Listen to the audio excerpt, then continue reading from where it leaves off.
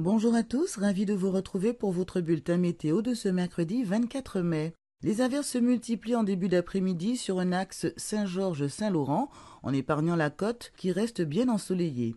De plus, le ciel sans nuages par l'est avec l'arrivée d'averses potentiellement orageuses sur Camopi en début d'après-midi. Ces dernières atteignent le Maroni en fin de journée, mais elles sont devenues moins intenses et le risque orageux est moindre. La nuit se déroule sans encombre avec un ciel devenant très nuageux avant l'aube, avec de probables pluies faibles dans le nord-est.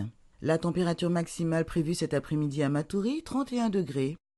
Le vent de secteur est souffle jusqu'à 20 km heure, avec de régulières pointes à 30 km heure sur la frange littorale.